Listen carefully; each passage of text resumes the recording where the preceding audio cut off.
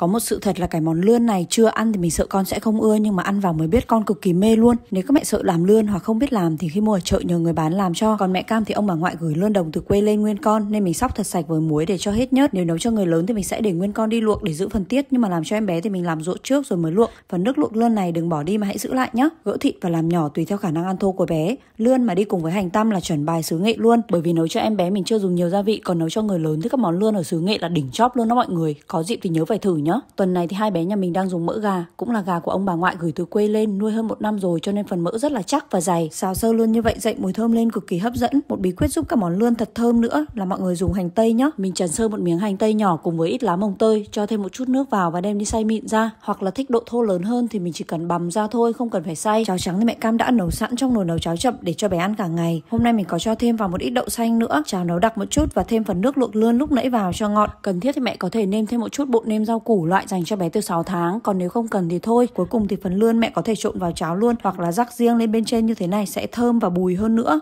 Bé từ 8 tháng thì bắt đầu làm quen với lươn được rồi mẹ nhé